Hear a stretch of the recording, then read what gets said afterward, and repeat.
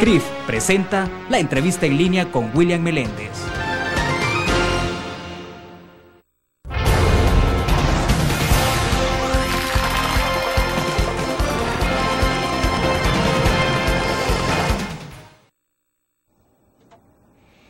En el martes 13 de marzo de 2012 es usted bienvenido a la entrevista en línea. Saludos y abrazos a nuestros cibernautas que nos acompañan en nuestro país y el mundo a través de la prensagráfica.com. También a nuestros televidentes que están con nosotros en Canal 25 a las 9 de la noche. Pueden participar en la entrevista. Transmitimos en tiempo real desde la sala de redacción de la prensa gráfica. El pasado domingo fueron las elecciones para diputados y alcaldes. El Partido Arena se convirtió en la primera fuerza política y recuperó el espacio perdido tras la decisión que sufrió en 2009. El más reciente conteo de votos, o el último por lo menos que está en el sitio web oficial del Tribunal Supremo Electoral, dice que el alcalde Norman Quijano obtuvo en su proceso de reelección 106.955 votos y Chafik Handal 55.096. Este dato puede variar levemente cuando ya se dé el consolidado final de las elecciones. Para conversar del significado que tiene el triunfo del Partido Arena como primera fuerza política, pero sobre todo también el caso de San Salvador, nos acompaña en nuestros estudios eh, el doctor Norman Quijano, alcalde actual de la ciudad de San Salvador y eh, reelecto como alcalde. Doctor, bienvenido, un gusto. Gracias William por la invitación, muy buenos días, estimados amigos. Bueno, para comenzar, entonces, eh, ¿era lo que usted esperaba, doctor, con el resultado o realmente pudo haber alguna sorpresa en esto? No, William, yo creo que coincide. Todas las encuestas nos daban una ventaja abrumadora. Yo todavía tuve un tracking los últimos, déjame ver, 8 eh, y 9 de marzo eh, a través de nuestro call center y me daba más de 48 mil, 50 mil votos de diferencia, con unos niveles de aceptación de gestión que es distinto a intención de voto. Eh, le preguntábamos en el distrito 5 cómo considera la gestión del alcalde Norman Quijano. Te decían el 91% es un buen alcalde, estamos contentos con él. En otros el más alto fue el 6, ahí alcancé el 94, el más bajo creo que fue el distrito 2 que llegué a 88.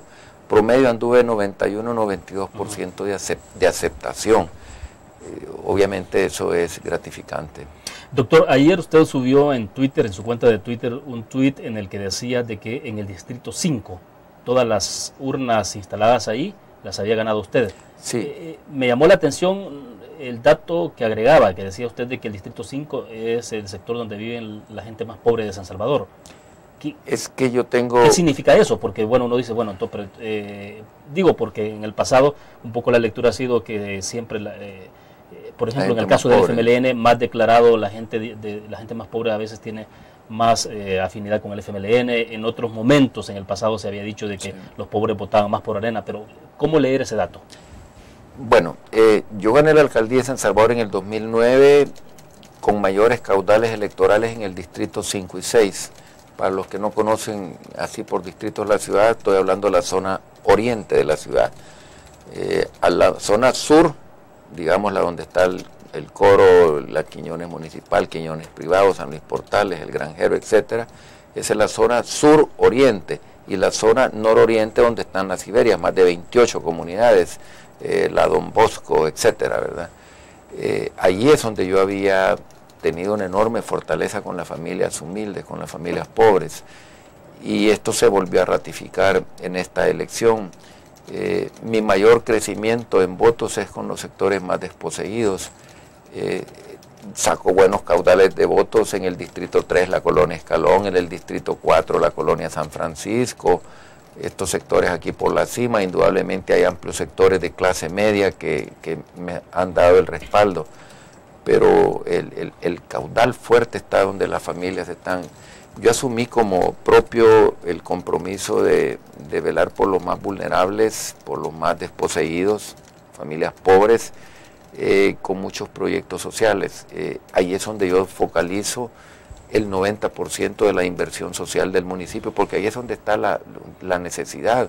Muro en, impermeabilización de un talud en la comunidad Morazán, un gran muro en la comunidad Santa Carlota, un gran muro en la comunidad de San Luis Portales, al muro de 100 mil dólares y enfrente otro de 100 mil dólares. ¿Por qué? Porque si tú no les haces el muro a estas familias, la champita se les inunda con el acelguate. Si no les impermeabilizas el talud, no solamente las champitas que están arriba se vienen, sino que también las que están abajo mueren soterradas. Entonces, eh, de los 24 millones de dólares que hemos invertido, que es muchísimo más allá de lo que invirtió la última administración de la doctora Mengíbar, la exalcaldesa que invirtió 6.1 millones de dólares, nosotros al final de nuestro ejercicio estaremos invirtiendo 24 millones de dólares en proyectos y de esos 24 millones el 90% está invertido en las zonas vulnerables. Doctor, los, los pobres, los sectores más pobres en este país, eh, a partir de, haciendo la lectura de ese resultado concreto de, lo que ocurrió en ese distrito 5, eh, ¿qué significa eso? ¿De que los pobres no tienen entonces eh, ideología, no tienen bandera política, que lo que quieren es trabajo? Yo creo que se cansaron de ser manipulados. y si tú extrapolas el, el, el resultado en San Salvador, y te vas a Soyapango, que es un municipio con mucha iniquidad, con mucho hacinamiento, con mucha basura, mucha suciedad, y donde viven quizás un millón de compatriotas en Soyapango. Es decir, es un municipio densamente poblado, con mucha precariedad, y ahora lo gana Arena. ¿Qué significa esto para el FMLN? Que las familias humildes, las familias pobres, como que están despertando y dicen, bueno, estos nos prometieron esto, lo otro, el cielo y la tierra, y lejos de mejorarnos, nos han empeorado las condiciones de vida. Eso significa en pocas palabras. Ahora, el municipio de San Salvador ha sido también un referente, porque si te recuerdas, parte de nuestra estrategia, nuestra estrategia fue posicionar el modelo de gestión de arena. ¿Qué se caracteriza el modelo de gestión de arena? Que no es otro que este. Alcaldías al servicio eh, de la gente. Eh, actuar siempre con ética, eh, permitir la participación ciudadana, trabajar para la gente, asumir el compromiso como consejos municipales de, estar guiados por un código de ética, etcétera. Entonces, la estrategia fue decir, bueno, si en San Salvador municipio hace tres años dijeron, después de 12 años de administración FMLNista, que estaba la ciudad destruida, abandonada, y dicen, si allí cambiaron, se hicieron a cambiar y mira el resultado que tiene San Salvador, animémonos a cambiar en Soyapango, en San Martín, en Mexicanos, y lo hicieron. Y de ahí es el enorme compromiso para de aquí en adelante. si, si, habría que resumir esto en, tres palabras, eh, ¿por qué la gente en San Salvador tuvo que haber premiado a Norman Quijano, a la gestión de Norman Quijano? Eh, me ven como una persona trabajadora porque en efecto lo soy. Eh, yo tengo encuestas donde se le pregunta al ciudadano cómo consideran a Norman Quijano. ¿Lo consideran honesto o deshonesto? Y más del 90% dicen honesto. Ese es un enorme capital político. Ese es un enorme capital político. Y lo ven trabajador y el 93% dicen trabajador. Significa que hasta el voto duro del FMLN, que me imagino ha de ser un 20-22%, hay un caudal de ellos que dicen sí, es honesto, sí es trabajador por eso es que no, no, no caló la campaña de, difamación y de insultos con miles de volantes, con MUPIs, Arena igual corrupción, igual Norman, eh, Norman autoatentados en el CAM, Norman asesino de Facundo Cabral, Norman miembro de los Zetas, Norman violador de menores. Yo con mi hija en el NAUCAM, en una ocasión que visité, mi hija vive en Europa, eh, abrazado con mi hija en Naucán y me sacan una foto en, la página del FMLN, y este degenerado, la, decía, usaban una palabra, eh, la lujuria del alcalde con una menor, con nuestros impuestos, disfrutando con una menor de edad, mi hija, Jimena María, casi lloró cuando vio la foto, se enteró estando en Alemania. Entonces, toda esa serie de cosas, el ciudadano al final dijo, no puede ser que en una campaña sucia, llena de anónimos, le quitemos el respaldo a un hombre que ha trabajado. Primero no creyeron nada de eso. Perfecto. Vamos a hacer en este momento nuestra primera pausa comercial. Vamos, eh, regresamos después del corte comercial.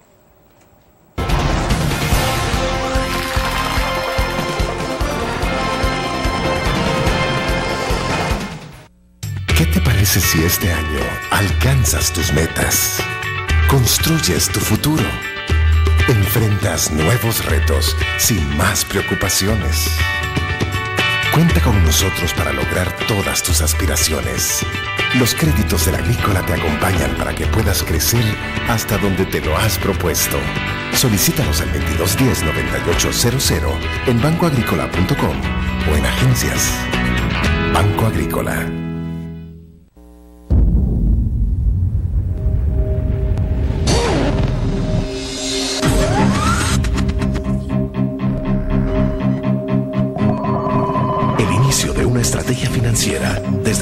Y la actividad económica hacia toda Centroamérica. El Economista Regional, una revista especializada donde encuentras el panorama empresarial y los principales movimientos financieros. El Economista, el modelo regional de información económica.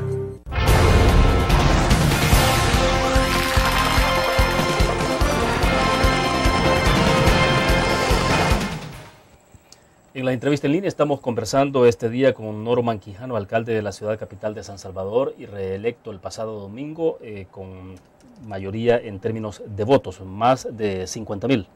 52 mil votos, finalmente 52 mil votos, eh, William. Aunque falta todavía el consolidado final del tribunal, ¿no? Sí, eh, 52 mil votos faltando 18 urnas, pero este es un resultado que yo lo obtuve ayer a eso de las 9 de la mañana, esto estará terminado ya. Yo estimo que ha de haber sido una diferencia quizás de unos 53 mil, 54 mil votos ya finalmente. Doctor, bueno, sin duda alguna, desde el momento que la población en San Salvador decide eh, endosarle nuevamente su respaldo y, no solo endosarle respaldo, sino que aumentar usted el caudal de votación para, para usted y para su partido, eh, tampoco significa de que haya cosas pendientes que hacer en San Salvador. Y quisiera que platicáramos Hay un poco mucho que hacer. de eso, pero sobre todo eh, en los ofrecimientos que usted hizo para cuando ganó la primera vez la alcaldía de San Salvador. Las deudas que tiene pendientes, el tema, bueno, comenzó con el tema de las bóvedas, pero eso todavía está pendiente. El tema de Metrobús. Eh. ¿Qué, qué, qué se puede esperar sobre esos temas que, que se ofrecieron hace tres años? El único tema que está pendiente y que para mí fue difícil luchar con una eh, asamblea legislativa adversa cuando perdimos diputados es el tema de Metrobús. Construimos una bóveda con, con apoyo del sector privado, eh, a socio público-privado en la comunidad San Francisco de Asís, que le ha cambiado la vida a esa gente. Ya no tienen los malos olores, ya no están a la orilla del precipicio, tienen una canchita de básquetbol, jardines, bancas donde sentarse, una cosa totalmente distinta, que la disfrutan hasta entrada a la noche, según lo que pude saber. Hemos adjudicado la segunda gran bóveda, William, eh, está partiendo del paso a desnivel de la administración de rentas, tiene, ahí hay tres segmentos de bóveda, una de 100 y dos de 80 para un total de 260 metros. La primera de 100 metros está adjudicada, ya está la empresa que ganó, ya se comunicó, ya hay acuerdo del Consejo Municipal, eh, cuesta 1.3 millones de dólares, me verán poniendo la primera piedra en cualquier momento de estos, una vez que se firme el contrato. Eh, esa es la segunda gran bóveda. El tema de Metrobús, sí, para este servidor fue un valladar imposible de salvar, con 32 diputados que nos había dado los salvadoreños en el 2009. Yo pude haber tenido una herramienta de negociación. El gobierno se ha endeudado por el orden de 4.354 millones de dólares en dos años y medio de gestión. Todo ese endeudamiento, eh, para poderlo adquirir, el gobierno hubiera necesitado tener los votos de arena, porque teníamos la mayoría, más de La la, llave, mayoría, la llave los calificada. 32, ¿verdad? Eh, pero cuando hay un grupo de diputados que se pasan a gana y el partido se queda con 18, entonces apartan el proyecto, los anteproyectos de ley, que la firma de don Luis Mario Rodríguez, conocido abogado, nos lo había hecho, estaba también ahí don licenciado Romeo Melara, una firma de abogados que yo hablé con ellos antes de tomar posesión como alcalde. Yo estaba trabajando en el tema de Metrobús antes de tomar posesión, porque me quedó entre enero 18 que gané y el 1 de mayo. Y presenté el 23 de abril los anteproyectos de ley, pero murieron en la asamblea al quedar solo con 18 diputados. No había fuerza, eh, sabía el FMLN que aprobarme esos proyectos era potenciarme a mí y, y no me iban a permitir que yo saliera adelante con un proyecto. Entonces ellos retoman el proyecto, le cambian de nombre, le hacen modificaciones que nosotros hemos cuestionado y ya hay un préstamo de 45 millones de dólares del BID que mi fracción de Arena incluso apoyó porque yo recibí una llamada de nuestro jefe de fracción, el doctor Vaquerano, donde me decía, mira Norman, ¿qué, qué, qué sugerís? ¿Qué hacemos? yo le digo, bueno, apóyenlo. En primer lugar, no podíamos oponernos porque no teníamos como oponernos con 18 votos. Exacto, Ellos lo iban a aprobar. No, no era favorable. Y segundo, le digo que el proyecto es beneficioso, que yo no lo voy a hacer y ellos se lo han tomado, se lo han robado.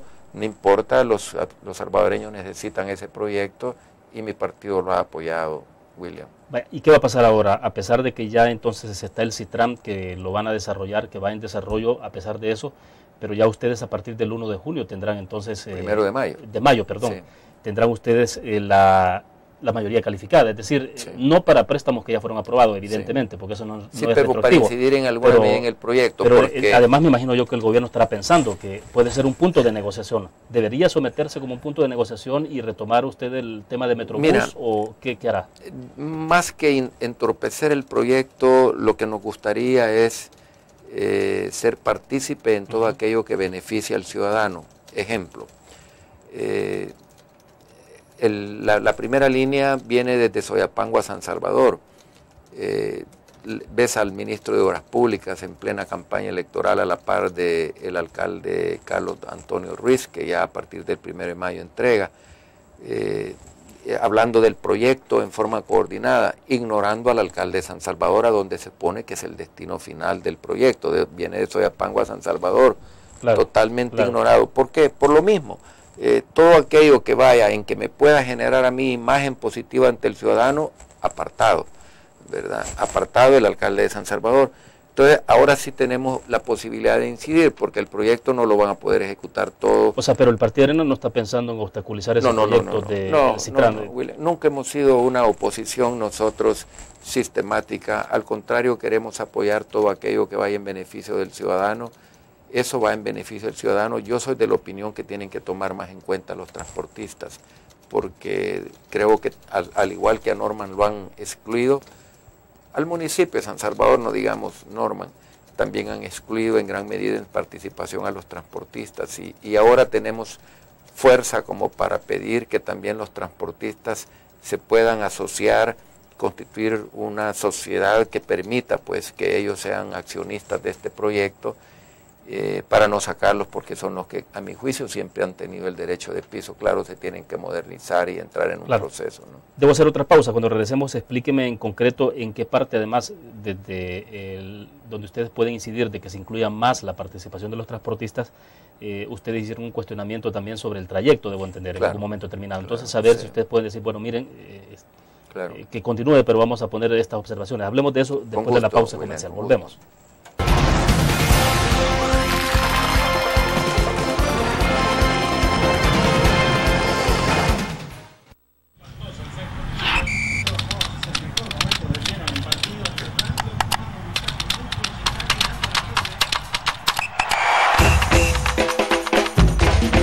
Del deporte está en www.elgráfico.com.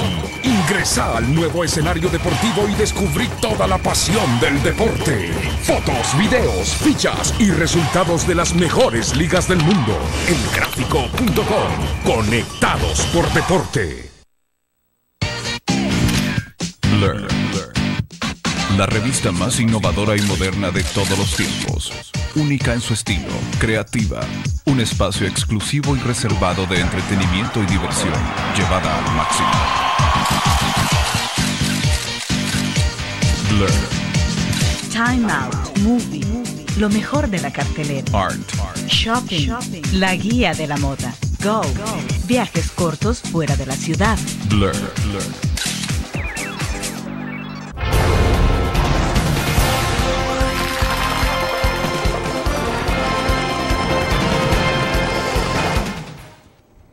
Bueno, hay dos temas que me interesa que, bueno, terminemos en la parte esta, eh, doctor Quijano, que tiene que ver con Metrobús. Eh, me queda la impresión entonces que en el caso de Metrobús, el concepto como tal, Metrobús, usted ha decidido que se quede en stand-by o dejarlo a un lado, pero el caso de Citram, que es lo que está en marcha de parte del Ejecutivo, entonces usted me decía en el segmento pasado, no van a obstaculizar tampoco, pero sí incidir.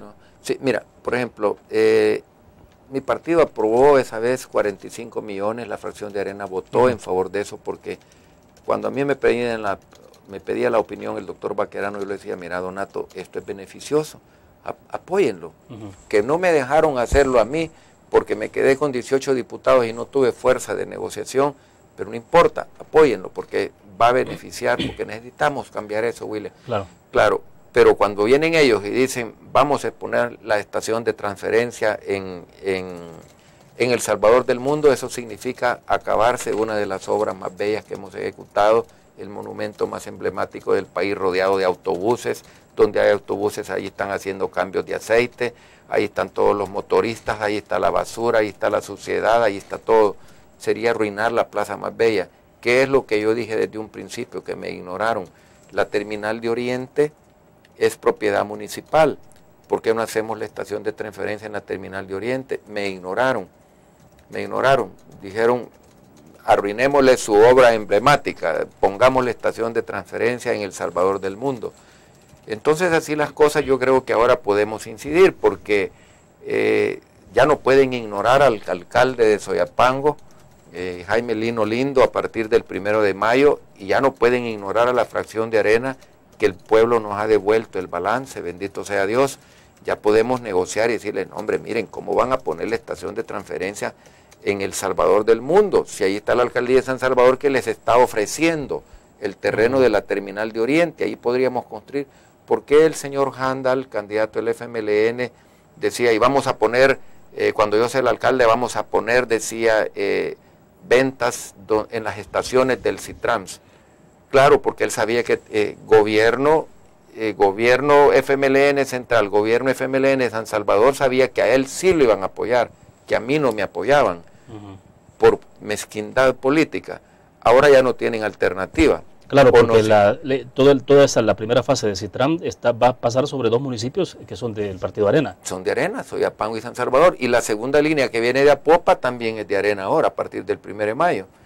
Entonces ya ellos ya estaban hablando con la anterior alcaldesa, entiendo la doctora Luz Estrella, para ponerse de acuerdo en desarrollar el proyecto porque era alcaldesa del FMLN.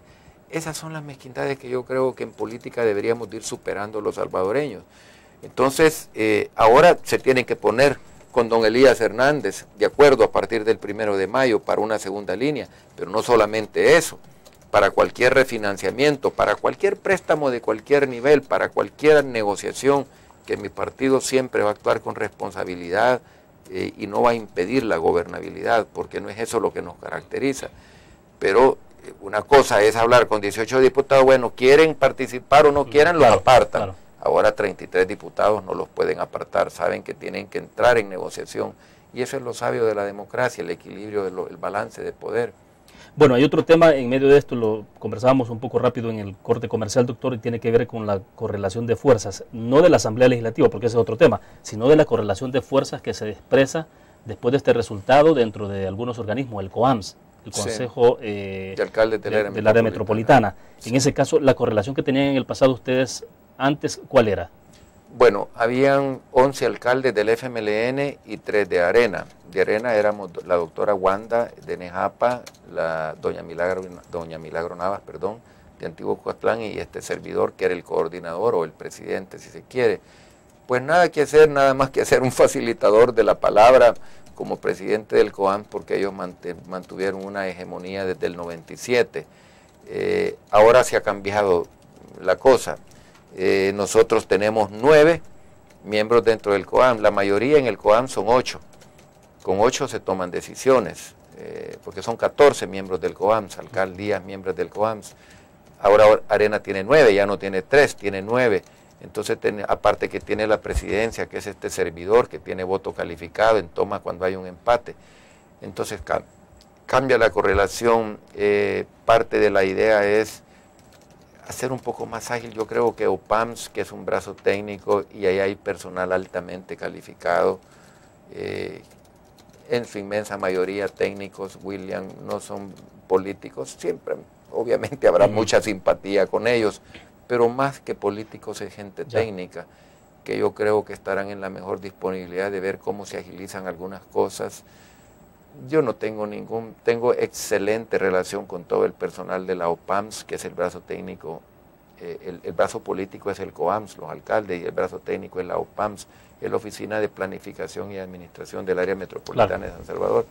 Entonces, yo tengo un buen concepto de OPAMS, ¿verdad? Siempre hay cosas que habrá que corregir, pero no es que sea institucional, sino que algún desviven ciertas cuestiones que siempre habrá de, más de alguno, pero eso es igual en todas las instituciones gubernamentales. Debo hacer una pausa, pero quiero que cuando regresemos me explique cuál es el giro entonces que se le puede introducir a, OPAMS, qué era antes y qué puede ser ahora que, ustedes tienen correlación. O sea, cuando habla de, volverla más eficiente, por ejemplo, ¿de qué? Vamos, vamos a una pequeña pausa y regresamos.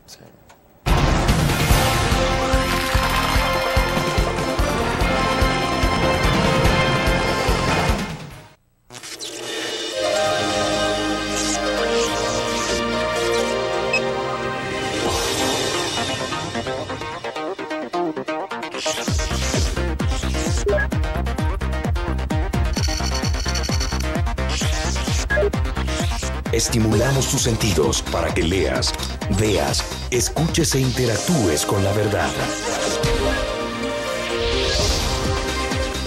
LPG Multimedia.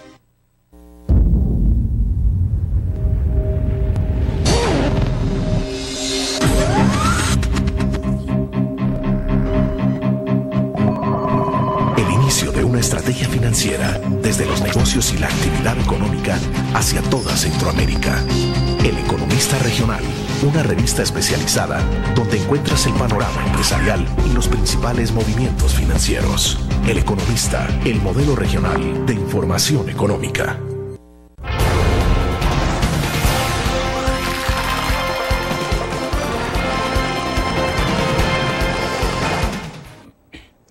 Doctor Quijano, le decía entonces cuál es el giro que hay que introducirle a COAMS. Eh, ¿En qué parte cree usted que el COAMS pudo caer en una especie de, pasividad, no sé, o de letargo? ¿Qué, es lo que hay que reactivar? El COAMS en términos generales funciona bien. Eh, hay aspectos que sin, sin, duda alguna pues habrá que, que revisar, William. Ahí hay tres comisiones. Yo siento de que hay temas donde se, se, aprecia más el dogmatismo, ¿verdad? Eh, el freno del, de, muchos proyectos que son de beneficio, quizás no el freno, sino que el, retraso en la aprobación de muchas cosas a nivel de OPAMS, yo creo que habrá que pegarle una, una revisadita a eso. Es decir, hacer una institución más ágil, más eficiente, eh, que esté más en sintonía con las necesidades de la ciudadanía en cuanto a agilizar toda esa tramitología que se vuelve sumamente engorrosa. Yo me he apoyado mucho con el arquitecto Margarita Minero, es una profesional muy capaz, muy honesta, muy, muy, muy correcta y siempre me ha apoyado cuando le digo, mire, hay un amigo que está afligido porque no le agilizan esta cosa, pero esos son los amigos que pueden tener acceso a Norman Quijano. Eh, para que les ayude a diligenciar algo y siempre he encontrado respuesta en ella y, todo. Pero, y aquel que no tiene un suchero allí para que le ayuden en una cosa, para que le, den el permiso para construir algo, etcétera, la modificación de algo. Entonces, yo creo que ese es un problema que adolecen casi todas las instituciones del gobierno. La alcaldía de San Salvador adolecía de eso.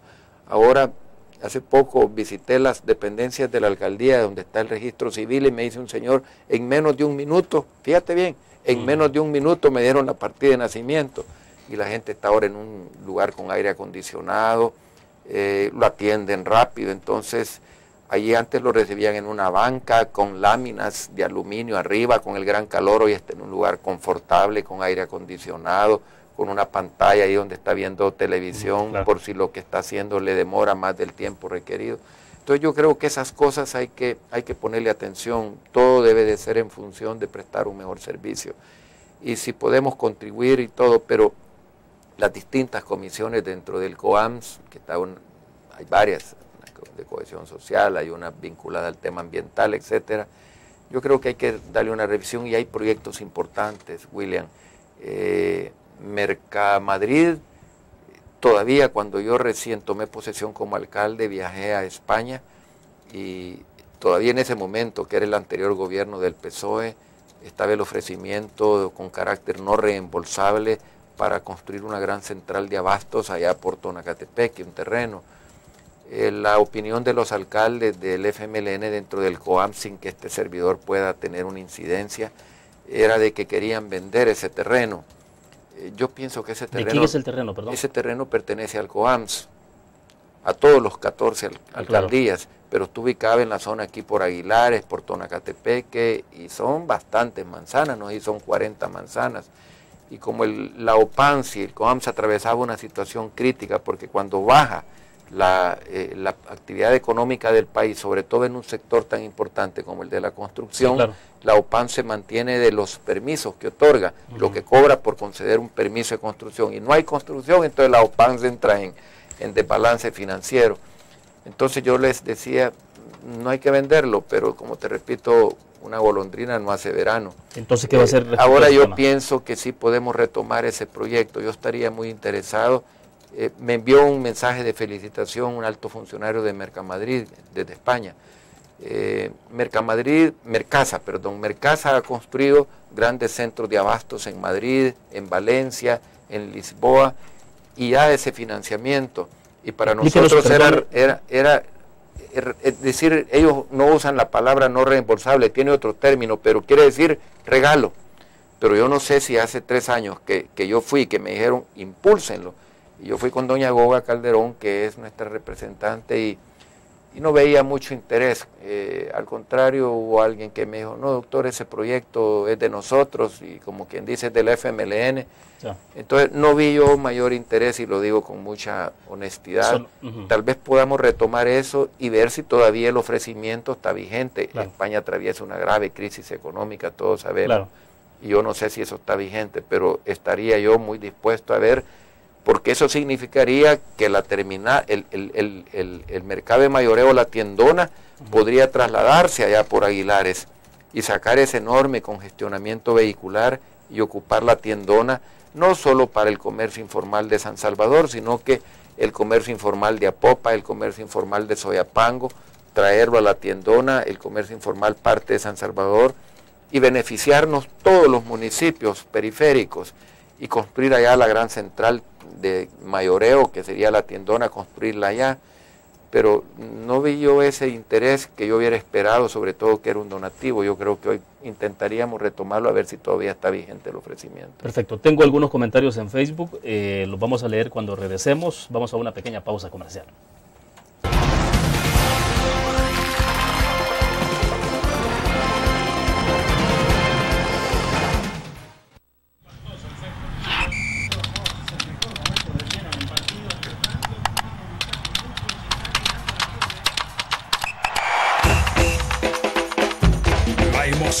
Deporte está en www.elgráfico.com. Ingresa al nuevo escenario deportivo y descubrí toda la pasión del deporte. Fotos, videos, fichas y resultados de las mejores ligas del mundo. Elgráfico.com. Conectados por deporte.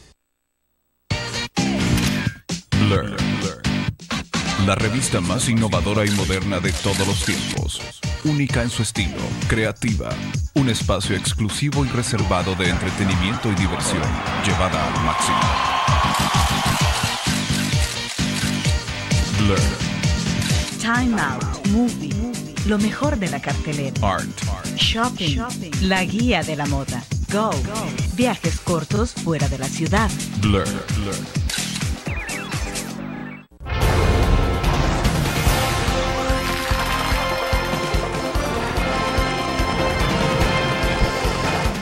Doctor, tengo acá dos comentarios muy puntuales. Nelson Osorio nos dice, eh, pregúntele si van a hacer algún instituto de estudios para jóvenes. Esa es una pregunta. La otra es de Juan Carlos Morán. Dice, pregunte por qué durante la campaña se opuso a que los partidos políticos pegaran propaganda electoral y no hace nada por borrar todos los grafitis que los pandilleros tienen por todo San Salvador. A ver, son dos cosas, doctor. Bueno, de, de, de Nelson estamos creando el Instituto Municipal de la Juventud Nelson, creamos la política municipal de juventud en agosto del 2010, antes que lo hiciera el mismo gobierno de la República. Y tenemos muchos programas, tenemos la tarjeta Juventud que triunfa con más de 2.000 afiliados en más de 30 establecimientos. Eh, pasamos de 30 escuelas deportivas a 130 escuelas deportivas, hemos construido cinco centros de convivencia que son verdaderos polideportivos y ahora el Instituto Municipal de Juventud eh, bueno, tenemos la Oficina Local de Gestión de Empleo, fuimos la primera alcaldía en crearla, la firmamos con el Ministerio de Trabajo y le hemos conseguido trabajo a través de ferias de empleo a más de 400 jóvenes.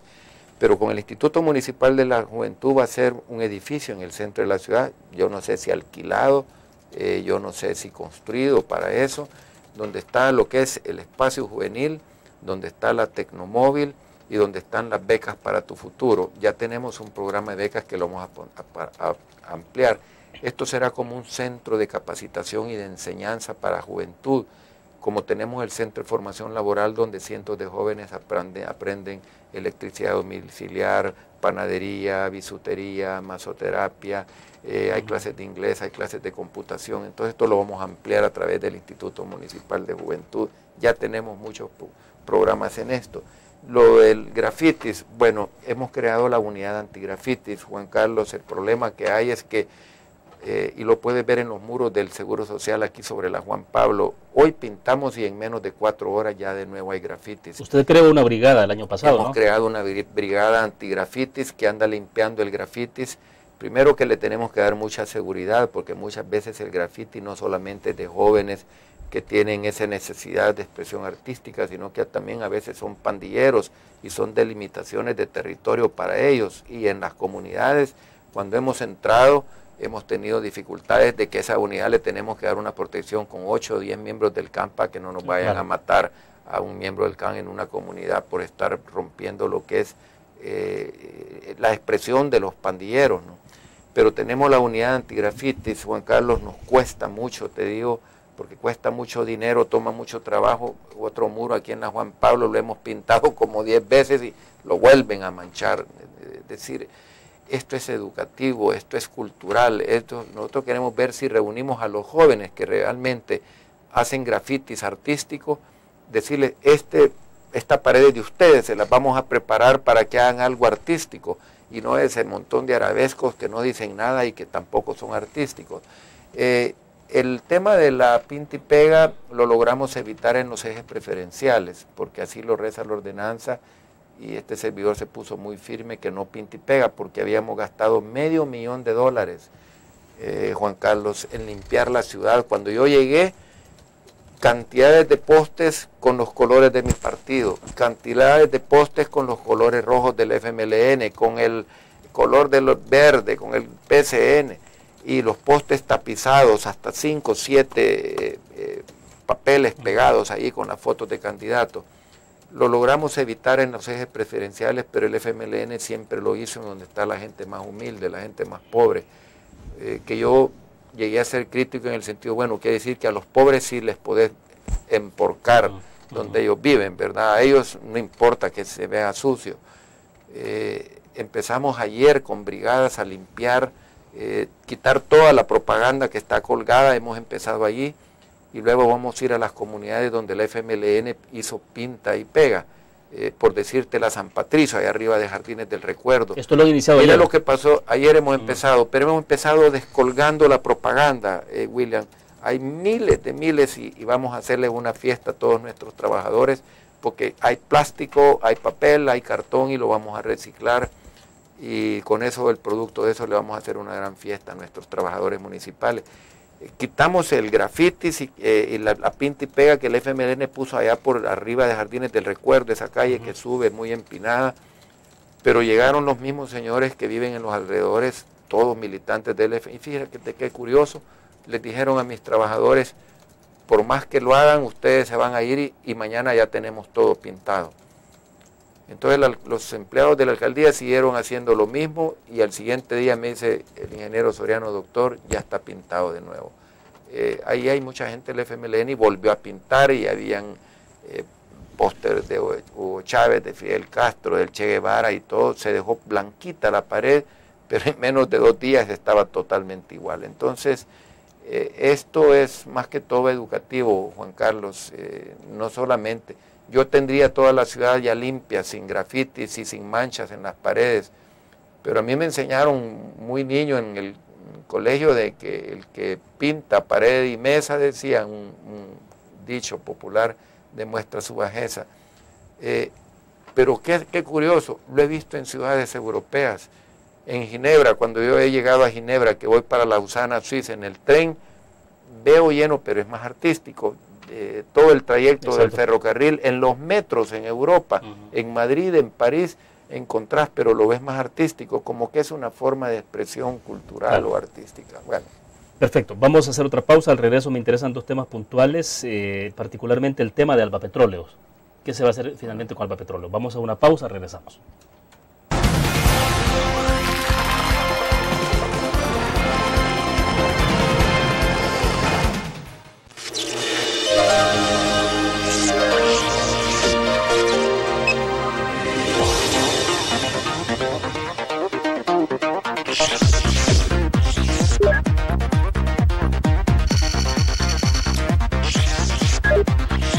Estimulamos tus sentidos para que leas, veas, escuches e interactúes con la verdad.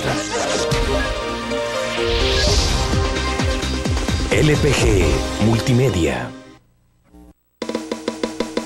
Tu periódico es dinero, porque ahora puedes pagar con la prensa gráfica. Busca y recorta en tu periódico el dinero que podrás canjear en los establecimientos de nuestros aliados. Encontrarás uno cada día. Compra con la prensa gráfica y encuentra una buena noticia para tu bolsillo. Con la prensa gráfica lo compras, compras. Con la prensa gráfica lo pagas, pagas. La prensa gráfica. Noticias de verdad.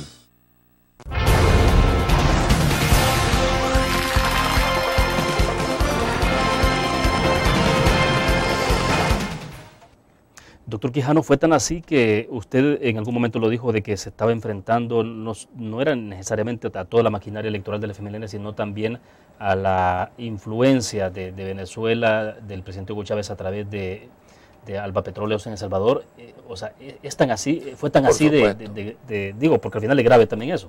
Sí, fue una campaña totalmente asimétrica. Eh, por decirte, yo puse 14 vallas San Salvador Norman, el señor Handal yo creo que le contamos casi 90, 80, 90 vallas. Yo una tenía en el Paseo Escalón y él tenía 14 en el Paseo Escalón. Yo tenía una en la Avenida Bernal, él tenía 9 en la Avenida Bernal, ya no digamos Mupis y todo esto. Y esa asimetría se da por la intervención abierta de Alba Petróleos, financiando la campaña. Tengo amigos publicistas, amigos en todas partes, te puedes imaginar y llegaban con maletines de 90 mil, 200 mil, 300 mil dólares, incluso millones de dólares a pagar facturas de publicidad de, que habían pautado.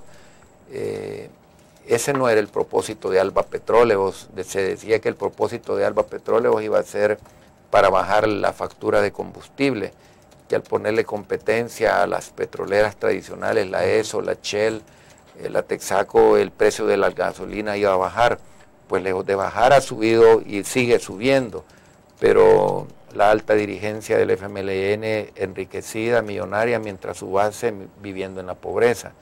Eh, ellos disfrutando de los lujos que les permite el manejar un negocio tan multimillonario, solo para que te formes una idea, el petróleo que entran, ellos tienen 90 días de crédito para pagar el 60% de esa factura y el 40% restante lo pagan en un plazo de 23 años hacia adelante.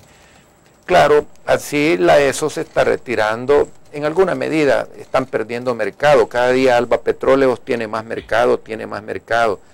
Ejemplo de esto es la alcaldía de San Salvador. Nosotros sacamos a licitación la compra del combustible para todos los vehículos de la alcaldía, los camiones del tren de aseo, por ejemplo. La primera vez, cuando yo llegué, la declaramos desierto porque no cumplían con el número de estaciones de servicio cerca de donde nosotros tenemos nuestros camiones del tren de aseo. Pero la declaramos desierto porque nadie compitió más que Alba Petróleo y no cumplía. Les dije yo, eh, flexibilicemos la posición para ver si más compiten. Solo Alba Petróleo compitió por segunda vez. Por segunda vez y nadie más. Y cuando hablo con amigos personeros de algunas de las petroleras y me dicen, es que estamos en total desventaja. Eh, es decir, esa no, aquí no están respetando la ley de competitividad. ¿Y cuál era el discurso del FML? Ni todo eso lo ha pagado, porque yo creo que parte de las soluciones y los caminos se expresan a través del voto. El FMLN, el discurso era de que, Arena defendía a la ESO, a la Shell y que por eso la gasolina subía, que nosotros éramos protectores de los grandes eh, consorcios petroleros a nivel mundial y que debía de ponerle competencia al mercado y que cuando entraba el petróleo la gasolina iba a bajar de precio. Entró Alba Petróleo en esas condiciones, las demás empiezan a retirarse poco a poco. Alba Petróleo empieza con el 10% del mercado, yo creo que hoy ya tiene el 60-70% del mercado y va a llegar un momento que va a ser monopolio. Salimos de un oligopolio para caer en un monopolio. Y, y toda esa campaña multimillonaria, cuando amigos me dicen, mira, Alba Petróleo está llamando que pongamos, porque querían poner unos MUPIs que al final los terminaron poniendo, ellos tienen la autoridad y el poder. Donde Arena igual corrupción, igual Norman, y donde habían hecho un montaje con el señor Perla. Yo me tomo cientos y miles de fotos cuando ando en campaña o cuando estoy en un centro comercial, un niño, mire doctor, el niño quiere una foto con el celular y todo. Pero entonces me, asocian con, el señor Perla, me asocian con lo de Facundo Cabral, me asocian con los Zetas, me asocian con autoatentados, dicen que hay autoatentados que pueden venir contra mi vida de parte de mi partido, me dicen de todo, me sacan con mis hijas diciendo que es la, mm. etcétera. Entonces, todo eso, eh, cuando un amigo me dice, nosotros no quisiéramos poner esto, Norman, porque esto violenta el código de ética, pero Alba Petróleo se está exigiendo y ya trajo los 90 mil dólares para pagar esta factura por esta pauta en unos MUPIs. Y cuando yo escucho con otros amigos y que llegan con maletadas de dinero, entonces digo yo, era eso lo que queríamos los salvadoreños, la intromisión descarada, abierta de petróleo de Venezuela en los asuntos internos del Salvador.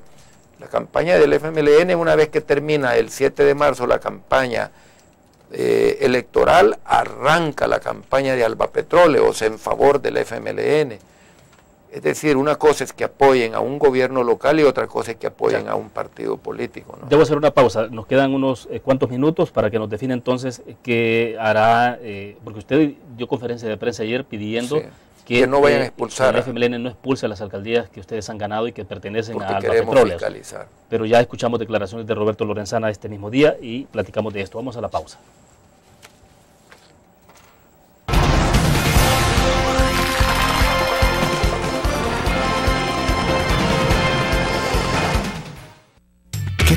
Si este año alcanzas tus metas?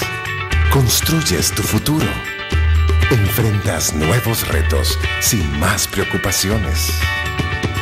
Cuenta con nosotros para lograr todas tus aspiraciones. Los créditos de la agrícola te acompañan para que puedas crecer hasta donde te lo has propuesto. Solicítalos al 2210-9800 en bancoagrícola.com o en agencias. Banco Agrícola.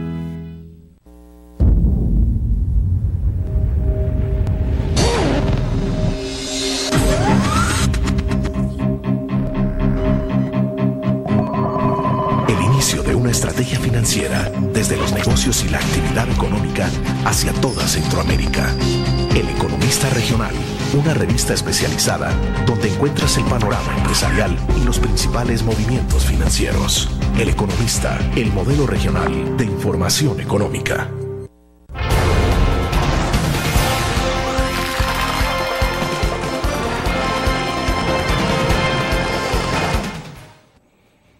Doctor, entonces, ¿qué va a pasar con Alba Petróleo? Ustedes han dicho de que quieren que no se les expulse de, Alba Petróleo porque quieren fiscalizar, pero Roberto Lorenzana ha dicho de que esa, Alba Petróleo es un beneficio eh, directo, exclusivo para las alcaldías del FMLN, obviamente no de Arena. Para el partido, ¿verdad? No para las alcaldías, es para un beneficio para el partido, por eso es que yo lo he denunciado.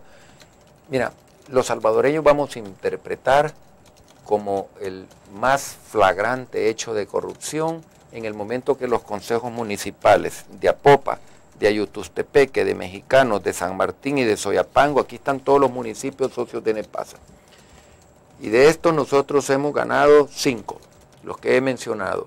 En el momento que los consejos municipales, antes de que los alcaldes de Arena tomen posesión el primero de mayo, decidan salirse de Alba Petróleos es porque están escondiendo los graves hechos de corrupción y de financiamiento de su campaña. Más que estar en Alba Petróleos, lo que nos interesa es fiscalizar porque la gente dirá, bueno, ¿por qué Arena se mete a pelear por petróleo que Venezuela le está casi regalando al FMLN? No, es que también hay fondos públicos. Cuando yo fui al, cuando yo gané en enero del 2009, en abril el, acuerdo, el Consejo Municipal, antes de que yo llegara el primero de mayo a tomar posesión, el Consejo Municipal, que estaba plagado de señores corruptos, tomó la decisión de retirarse, eh, es decir, antes de que yo tomara posesión, y no encontramos un tan solo documento, un tan solo proyecto, y habían tenido por años un capital semilla de más de 90 mil dólares, no recuerdo, era 94 o 96 mil dólares, y lo devolvieron sin cinco centavos de rentabilidad, sin ningún proyecto. No encontramos un documento más que entró el dinero de regreso. Como que dinero, dinero sacaron a la alcaldía de San Salvador, que lo había puesto, pero lo pone la alcaldía con fondos públicos. Exacto. Todas estas alcaldías Apopa, Aguilares, Acajutla, Yutustepeque, Ciudad Delgado, Cucatán, etcétera, todas estas ponen capital, pero no es capital semilla del FMLN, es de los impuestos que pagan los habitantes de estos municipios que ponen ese capital semilla. Entonces, con los impuestos de los salvadoreños, hacen su gran negocio para financiarse su campaña y para enriquecerse los altos dirigentes, porque todos son altos empresarios ahora compran residencias de 2, de 3 millones de dólares, mientras la base de eso, y eso es lo que está sucediendo, el desencanto de los ciudadanos, mientras los altos dirigentes compran residencias en Miami, compran residencias en Cancún, en Puerto Vallarta, eh, se dan grandes lujos, compran trajes de marca en sus viajes a Europa, la base del FMLN sigue viviendo en pobreza. Entonces, esto es lo que los salvadoreños se están cansando en estos municipios donde hay tanta gente pobre que se cansó vivir inundada de basura, que el, gran basurero aquí, pero el poste está pintado de rojo. Los grandes hoyos en la calle, pero el poste está pintado de rojo. Entonces, ¿Van a quitar el color rojo de todas las alcaldías que ustedes han ganado? Mira, eso es decisión de cada alcalde, de acuerdo, mis colegas pero, alcaldes, pero yo los he invitado a que hagamos un gran mega festival de limpieza el primero de mayo pero serán mis colegas alcaldes si quieren. Yo estaría dispuesto a apoyarlos. Serán mis colegas alcaldes de todos estos municipios. Eh, yo les invitaba ayer y les decía, es decisión de ustedes, pero yo la primera recomendación que les haría es que la alcaldía que está toda pintada de roja y que hay estrellas por todas partes, que la pinten de blanco. Y que no permitan colores de arena adentro de la alcaldía. Que el ciudadano vea el cambio desde el primer día. No cuesta pintar un edificio. Si tú vas y ves la alcaldía toda pintada de rojo, con las estrellas, el gobierno y resultado, el pueblo unido jamás será. Eso la gente ya no lo quiere y por eso es de que a este servidor lo han apoyado tanto. Entonces, yo los he invitado, pero te repito, eh, no puedo decirlo, voy a obligar a que hagamos un mega festival de limpieza. Pero yo creo que, les digo, si empiezan por los ejes preferenciales, yo fui a apoyar un par de veces a Jaime Lino, fui a apoyar a Ilopango un ratito, fui a apoyar a Yutustepeque, a todos mis colegas, incluso fui al Oriente a apoyar a mis alcaldes y estoy dispuesto a seguirlos apoyando si se dejan apoyar, si se dejan ayudar. Pero eh, es importante también que tomen decisiones valientes. Soyapango está inundado de rojo y Lopango igual, mexicanos igual, la popa igual. Empiecen, les digo, por los ejes preferenciales que la gente vea limpito, los postes que ya no los vea rojos, que los vea blanquitos. No le vayan a dar tricolores, eso sería lo peor. Y, y, le digo yo, déjenlos blanquitos y que la gente vea que van desapareciendo los basureros, esos grandes zacatales y breñales donde antes había un canche de fútbol, mándenlos a chapodar, eh, píntenlos de colores bonitos, como lo hizo el candidato de Ayutustepeque siendo candidato y ahora eh, alcalde de Ayutustepeque, mi buen amigo, aquí tengo el nombre de él, se me escapan Alejandro Noches. Entonces yo creo que esto es lo que va a introducir un nuevo modelo de gestión de, y que el ciudadano pueda percibir la diferencia entre una alcaldía gobernada por Arena y una gobernada por el FMLN. Bueno, se nos fue el tiempo, doctor, le agradezco que haya participado. Gracias, Muy amable. Gracias por la invitación y amigos, tengan buenos días. Bien, terminamos la entrevista en línea. Gracias a ustedes por su fiel sintonía. Nos vemos mañana. Que descansen.